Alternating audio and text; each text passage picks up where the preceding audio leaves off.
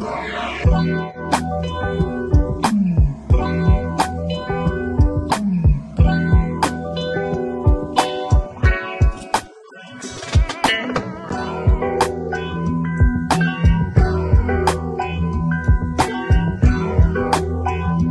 a lineup.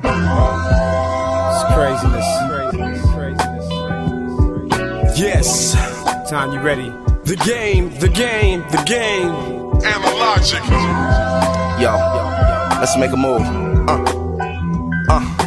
It's Phonte and KO delivering that newborn shit. This verse is a dayo, so handle with care and keep your hands in the air when I'm on stage, hand in my face doing the yayo. So seductive if you say so, but so productive cause I lay low. Back in the days before the laptops and Treos, sad nothing. Now it's cribs and trucks and fam on the payroll. All cause we made the crowd say ho with no tour support or major label backing. I mean, without no upfront money, just back ends. Now the check is cut before the bus even back in.